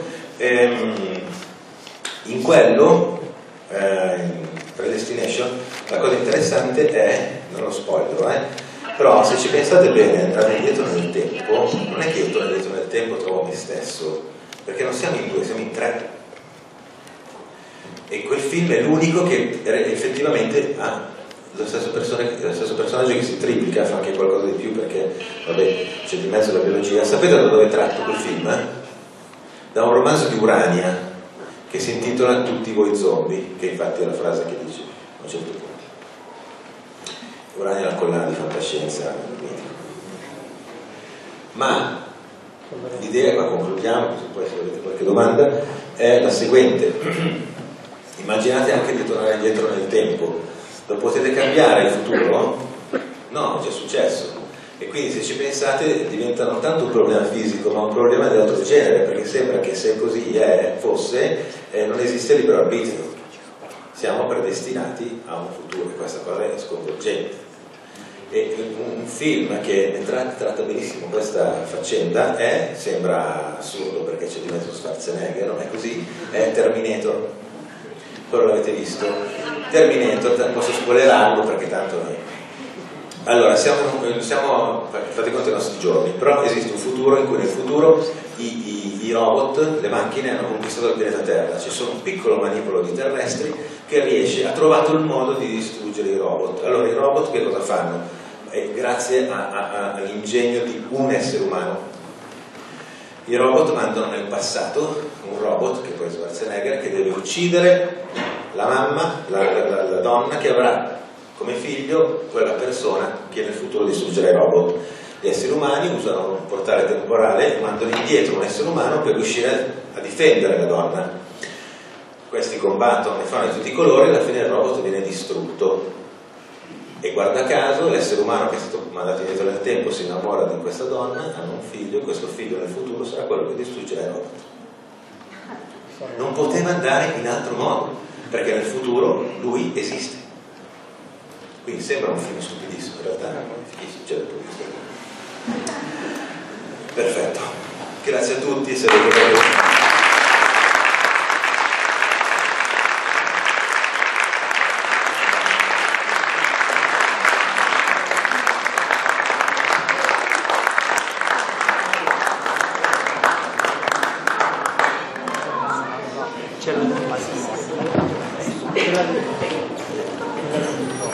Allora, se avete qualche domanda sono qua, all'inizio non ne fa nessuno, poi piano piano ci sarà un dibattito feroce, se dovete andare piano c'è nessun problema, non mi offendo. Se volete guardare qualcosa di interessante abbiamo allestito il banchetto di Gated to the Sky, ma anche perché siccome la ricerca non paga, quello è un progetto mio autoprodotto e autofinanziato, quindi se volete partecipare al progetto Gated to the Sky c'è qualsiasi cosa un euro in su per partecipare al progetto.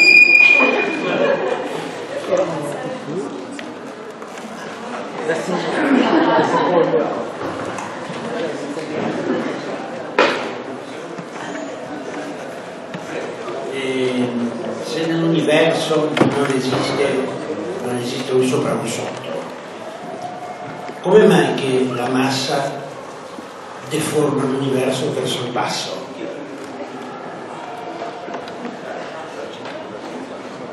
C'ha ragione, c'ha ragione. Cioè, sì, siamo. Verso il centro di gravità, sulla Terra, le lenzuola, così. Allora, e rispondo alla sua domanda per rispondere a tante altre. Quello che sta facendo lei è un esempio tridimensionale, è lì che sbaglia. Infatti, quando si parla di diverso, è quadridimensionale. Quindi sopra e sotto non c'è, il centro non c'è, bisogna fare uno sforzo mentale superiore. No, non c'è. Infatti, se, che forma ha l'universo secondo voi? Buttatela lì. Una sfera, ok? Dicono tutti così. E fa boom, si espande. Una geometria comunque è sbagliato. È vent'anni che faccio una conferenza che si intitola Origine e evoluzione dell'universo, perché quella è un'interpretazione tridimensionale. Ma è banale dimostrare che non è così. Dimostro questa, così le dimostriamo tutte. Se fosse una sfera, l'universo si espande a un certo punto nel tempo, a un certo punto sbuchiamo noi in questa sfera, se volessimo vedere com'era nel passato, cosa dobbiamo fare? Dobbiamo girare i nostri telescopi e puntarli verso il centro della sfera, che arriva da lì, no? la storia dell'universo, di questo è il futuro. Invece noi da qualsiasi parte guardiamo, guardiamo indietro nel tempo. Quindi non può essere una sfera, perché non c'è un luogo in cui si guardiamo verso il futuro. Anzi, fa ancora più il mal di testa. Noi siamo in una struttura quadridimensionale, in espansione, dinamicamente si espande, ma l'origine ci circonda. E se tu guardi indietro nel tempo, più indietro indietro è l'origine, quindi l'origine ci circonda, ma ci espandiamo e siamo dinamici, purissimo. Se ti fai un esempio tridimensionale come il sopra e sotto, non è così, quindi si possono fare sicuramente, vanno fatte queste conferenze di teatrale divulgativo, ma a un certo punto esistono dei bellissimi libri, questi sono due che ho portato, se volete poi sfogliarli, sono assolutamente leggibili, questo è leggibile, questo un po' tutti mi manda fuori di testa. Però a un certo punto c'è la matematica. C'è la matematica che è un linguaggio anche quello. Per riuscire ad apprezzare lo spazio quadridimensionale vi faccio questo esempio qua. Allora, immaginate che esista un universo bidimensionale, il, il piano euclideo, ok? Il piano. Sopra ci sono, cosa ci disegnate? Le figure geometriche, il triangolo, il quadrato, il cerchio. Date vita a questo universo, cioè lo guardate da fuori e vedete il quadrato che si sveglia, fa la spesa, ok? Poi a un certo punto, è ancora peggio, perché a un certo punto il quadrato torna a casa, va a dormire e voi, per fargli uno scherzo, senza svegliarlo, lo prendete e lo depositate sulla superficie di una sfera. Quando il quadrato si sveglia, che cosa fa? Va fuori di testa, non si accorge di nulla. È stato estratto dal suo mondo bidimensionale ed è stato messo sulla superficie di una sfera. Quante dimensioni ha la superficie di una sfera? La superficie? Due. La sfera che è tridimensionale. Quindi lui striscia allegramente, non si accorge di niente, striscia allegramente sulla superficie della sfera perché non percepisce la terza dimensione. Quindi lui che universo è? È un universo a due dimensioni che percepisce, incurvato su una terza dimensione che non percepisce, ma non vuol dire che non c'è. Noi siamo in un universo a tre dimensioni che percepiamo, incurvati su una quarta dimensione che non percepiamo, ma non vuol dire che non c'è. però è misurabile e sappiamo come si comporta interagendo con il campo gravitazionale. Apprezzato lo spazio quadridimensionale, il sopra e sotto svanisce, non esiste più. Okay? Anche perché il buco è sferico.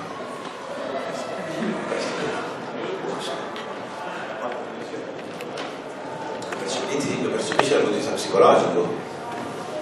Cioè io ho cominciato a percepirlo dai 40 anni in su, un po', quando ho fatto 40 anni ho cominciato a è psicologico. Oppure lo vedi perché il sole tramonta, ma sei vincolato sul tuo pianeta Terra che ha un anno di 365 giorni un giorno di circa l'ultimo pianeta extrasolare che mi ha scoperto ha, ha, ha in orbita intorno alla stella in, eh, 2 ore e 56 minuti lì l'anno dura 2 ore e 56 minuti eh, ma è, perché siamo abituati così su una pulsar un anno 40 millisecondo dipende dal contesto in cui ti trovi. Sole? Domanda semplice ma vediamo un attimo buco nero quindi mi ha detto che è il termine di una stella, uno dei tipi di fine di, stella, diciamo. Sappiamo che all'interno del buco nero il tempo rispetto a chi è esterno rallenta in maniera formidabile. È possibile che il buco nero non sia altro che un'esplosione, comunque una fine stella talmente cioè, repentino ma che noi non possiamo vedere all'esterno se non dopo miliardi di anni cioè uno stato frizzato di una stella che deve morire definitivamente. Allora, la risposta è, aver capito bene la domanda, la risposta è no, nel senso che è proprio un relitto. Cioè tu puoi ipotizzare che una stella di grande massa diventerà un buco nero osservandola, perché puoi valutare la massa, già quando dirai diventerà, dipende da quanto è distante, se questo è il discorso, perché può essere già che lei è già un bel colpo okay? è già successa quella cosa nel passato. Infatti quando ho detto il nostro buco nero sul massiccio al centro della nostra galassia è tranquillo, la frase giusta è 26.000 anni fa era tranquillo, perché siamo a 26.000 anni luce di distanza, okay? quindi c'è sempre... Ah, poi ci spingiamo... Sì, sì, quello, quello c'è, quello teoricamente c'è qualcuno che li cerca, fenomeni che è stato uno di quelli autorizzati, sono i buchi neri quantistici, quello di cui parla lei. Eh, non ce l'ho qua, l'ho calcolato l'altro giorno per, abbiamo fatto, c'era Black Friday, abbiamo fatto Black Hole Friday e abbiamo fatto questo calcolo per i buchi neri quantistici e veniva fuori che eh, il raggio di Schwarzschild di un buco nero quantistico, quindi mette la massa di Planck, è eh, 2,18 per c'è almeno 34 metri. Però è ancora entro un limite ragionevole perché la lunghezza Planck è di 1,75 quindi, quindi si ipotizza che nell'universo primordiale si possono essere formati tanti micro buchi, bianchi, buchi neri eh, quantistici, ma lì però è quantistici, cioè questo già un altro, tutto un altro tipo di terminologia. Io sono fedele alla relatività generale. La relatività generale è fisica classica, cioè studia gli effetti gravitazionali sul macroscopico. La quantistica è quella che studia sull'atomico. Si basa sul principio di determinazione, quindi va bene tutto. Ci sta, eh? la quantistica, abbiamo tantissime applicazioni quantistiche oggi, eh? lei non potrebbe ascoltare un CD o un, DVD o un Blu-ray, okay. però se ci portiamo agli estremi è fuorissimo, certo. La grande unificazione sarà proprio unificare la gravità con la meccanica quantistica, cioè quantizzare la gravità e dove puoi farlo sull'orizzonte degli eventi del buco nero. Per quello che tutti si incastrano lì, perché è lì che effettivamente può avvenire la grande unificazione. Okay? E Hawking era lì vicino a trovare qualcosa di interessante, aveva risolto anche il paradosso, forse il paradosso dell'informazione e tante altre cose. Aveva, mh, ha ipotizzato matematicamente accettabili l'evaporazione dei neri, anche quelli più piccoli, effetti quantistici, prossimità dell'orizzonte degli eventi grazie all'elemento quantistico. Eh, quanti... Però mi raccomando, qua una cosa la devo dire, quando si parla di meccanica quantistica si parla di particelle subatomiche. Mm? Eh, perché l'altro giorno ho parlato, mi hanno invitato, allora io in Paradossa sono anche il presidente del CICAP, Comitato Italiano per il controllo delle affermazioni su le pseudoscienze, quello che era il paranormale. Hanno invitato uh, da un maestro yoga perché questo volava e attraversava i muri, ok? Allora ha detto, vabbè, andiamo a vedere, ho scoperto qualcosa di incredibile, no? E lui facendo yoga spiegava tutte queste bellissime cose di quantistica. E io quando faccio queste conferenze mica vi parlo di yoga, no? Quindi io ho alzato la mano, penso, pensate, eh, yoga, tutti io, scusi, ma lei ha una laurea No, perché sta dicendo delle cose fuorissime. Cioè, quando parlate di meccanica quantistica, quelle leggi sono applicabili a un elettrone, non a un corpo macroscopico. Io sono soggetto alla gravità, sono soggetto a livello microscopico alle leggi quantistiche. Per la meccanica quantistica io ho una probabilità non nulla di attraversare quel muro. Provo neanche, ok? Quindi mi raccomando, quando sentite medicina quantistica, tutte quelle robe lì, ragazzi, è una particella subatomica, non un corpo macroscopico. Okay? La probabilità che tutte le vostre particelle risuonino nella giusta fase quantistica in modo tale da poter attraversare il muro, sì, può, può essere, come fare? Cioè, miliardi, miliardi, miliardi, miliardi, miliardi, miliardi, miliardi, vado avanti 10 minuti di volte di seguito sarà il supermerotto. Si può, probabilità è non nulla.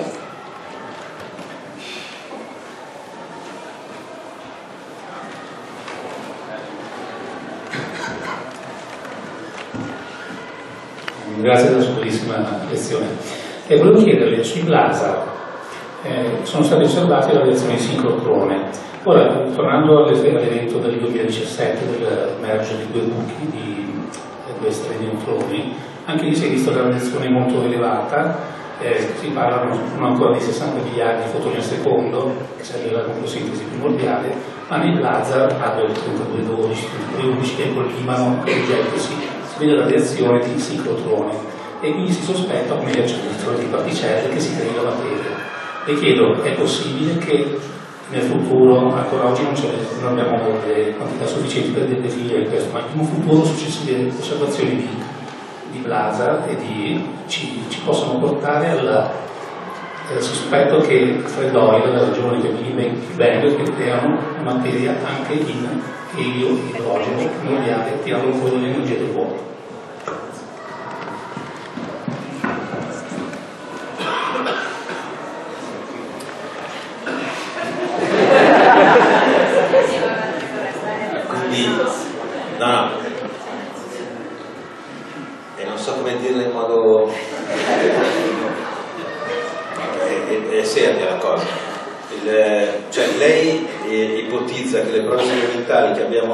Oggi non confutino ancora il modello stazionario. In un certo senso sarebbe un risveglio se i mini bang, anziché i big bang, lavorano sullo stesso principio, solo che i mini bang non abbiamo ancora visto. Abbiamo iniziato a vedere l'emissione di eh, radiazione X molto prolungata sul merger di neutroni, ma gli A del 3212 di laser, che sono centinaia, vedono sempre questa reazione di sincrotroni che è formazione di materia primordiale. Allora, la radiazione di sincrotrone, ho riaperto apposta questa, eh, entriamo molto nel dettaglio. Allora, questa è una diatriba tra, eh, tra eh, che è aperta, eh, non tra me e lei, tra le persone che, oh, adesso che però credere non, non, va bene, comunque che eh, accettano il modello eh, del Big Bang, cioè della formazione dell'universo da un tempo t uguale a zero, okay, poi c'è un'evoluzione, questa primordiale esplosione così chiamata che dà via all'espansione dell'universo e poi c'è un altro mm, gruppo invece, questa diatriba era potente intorno al 1946-47 se non ricordo male, eh, campeggiata appunto da Fred Hoyle che è il modello stazionario, cioè l'universo è sempre esistito e c'è una continua creazione di massa. Okay? Entrambe le teorie andavano tutte e due bene mh, mm, perché di mezzo c'è il concetto di densità dell'universo eh, che mh, mm, deve essere, deve essere sempre la stessa, cioè la densità dell'universo primordiale è quella che abbiamo oggi ridistribuita in qualche modo. Okay? Tutte e due le teorie andavano bene. Una poi è stata accettata perché viene fuori il concetto di temperatura, c'è una funzione stato che prevale che la temperatura, cioè l'universo prima era più caldo, adesso è più freddo perché si è espanso come qualsiasi gas e quindi decade il modello stazionario e prende piede il modello di evoluzione dell'universo basato sulla teoria del Big Bang. Qualcuno ancora eh, cerca appunto zone nell'universo in cui ci sia formazione di materia, eh, perché se l'universo si espande si crea materia, dal nulla, può essere, perché quantisticamente fluttuazioni quantistiche del vuoto di particelle virtuali possono diventare reali, eh, ci deve essere questa grande, enorme emissione di materia da qualche parte, eh, l'universo si espande, la densità è la massa fratto il volume, la densità resta comunque costante, perché la massa viene fuori, il volume aumenta e quindi può funzionare. Il modello stazionario taglia via anche tantissime problematiche eh, che esulano dalla scienza, ma che rientrano nel campo della filosofia e della religione. Il modello stazionario non c'è spazio per un Dio, l'universo eterno è sempre esistito, no? cioè ci sono anche complicazioni di altro genere che rientrano poi in questi modelli. La risposta è, cioè la risposta, non è una sola risposta, però all'interno dei fasci collimati di Blasa, di quasari in generale, la radiazione di sincrotrone c'è, c'è Brestralum, sincrotrone, compton, compton inverso, c'è di tutti i generi perché sono particelle eh, ultrarelativistiche, cioè che si muovono a velocità prossima a quella della luce e che si muovono all'interno di un campo elettromagnetico, quindi sono effetti di fisica standard, solo ultrarelativistici, cioè a velocità prossima a quella della luce. Ehm, quella materia che, fuori, che, che, può essere intrappolata nel getto o, o, o, sputata fuori, fatta passare il termine del getto, è materia del disco d'accrescimento, non arriva da chissà dove, non arriva dal dentro l'orizzonte degli eventi. Okay? Non è il buco nero che sputa fuori, è la gabbia magnetica intorno all'orizzonte degli eventi a distanza di sicurezza che intrappola la materia che arriva da fuori. Infatti vi ho detto che il buco nero si mangia più o meno il 40% della che viene ingabbiata e sputata fuori. Quindi la materia stessa del disco d'accrescimento. Però il Big Bang parla di reazione che fa 70 miliardi di al secondo per centimetro quadrato e crea dal nulla la materia che siamo noi. Ma la stessa cosa verrebbe se riuscissimo a scoprire la quantità di fotoni emessi dai laser che sono equivalenti a questi 60 miliardi per cui si avrebbe l'equivalenza di dire Big Bang non esiste perché non nasce da Sì, non ho capito dove vuole arrivare. Ehm, allora, noi fotoni che provengono da un quasar possiamo valutare tranquillamente. La, se vuole ne parliamo dopo così non, rendiamo la discussione mono, mono eh, niente, eh, però volevo dire un'altra roba. Ah, che, che studio relatividità generale, io mi occupo fondamentalmente dell'evoluzione dell'universo. Okay? Il Big Bang non può dirti come è nato l'universo, la teoria del Big Bang è una, è una teoria classica, si basa sulla gravità. Okay? Singolarità iniziale. No, non, ci dice niente sulla singolarità. No, è una teoria classica, non può, eh, si lavora sul macroscopico. La, è la meccanica quantistica che indaga le condizioni che hanno determinato il Big Bang. Il Big Bang è la teoria classica che vi spiega come è evoluto l'universo, non come è nato l'universo, non può farlo. Okay?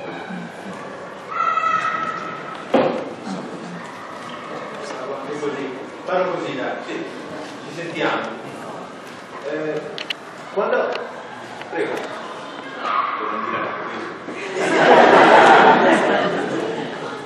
Quando ha parlato dei buchi neri supermassicci, eh, riferendosi a quello che è stato 8 miliardi di anni fa, di anni in luce, eh, mi è sembrato di capire, se ho capito correttamente, che questi buchi neri supermassicci vanno ricercati comunque in oggetti in galassie molto distanti e quindi anche molto antiche. Sì, anzi ancora peggio. Quindi si sono formati, in realtà sono galassie giovani.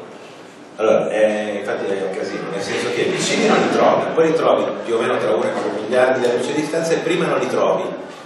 Quindi un'ipotesi è che il nucleo galattico attivo sia una fase evolutiva della galassia stessa. Nasce in qualche modo, diventa attiva e poi diventa latente. Okay? Infatti ci si chiede se è nato prima l'uovo o la gallina e i cosmologi si chiedono se è nato prima la galassia o il buco nero supermassiccio.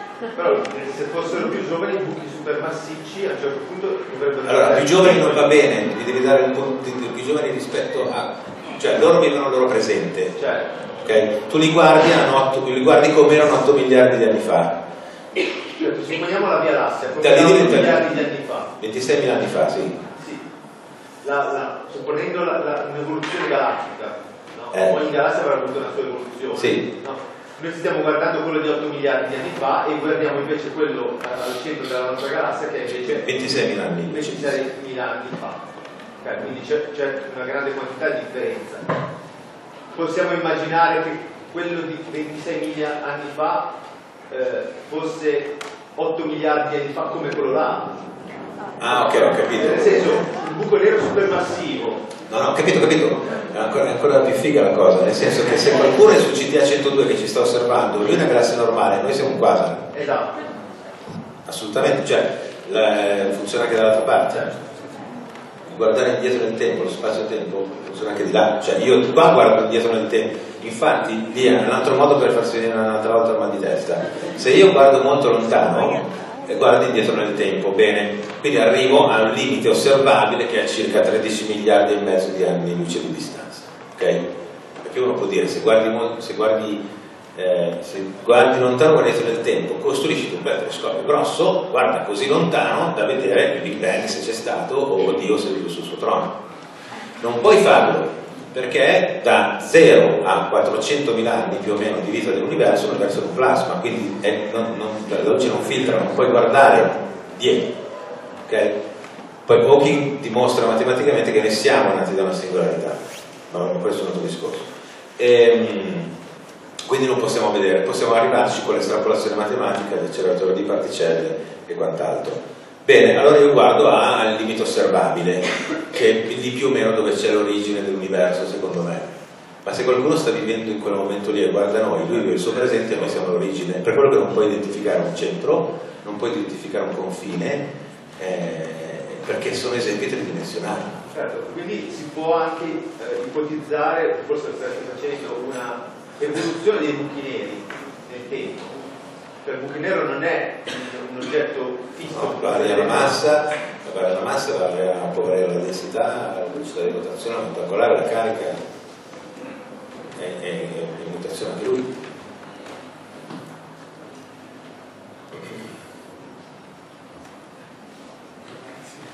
Posto?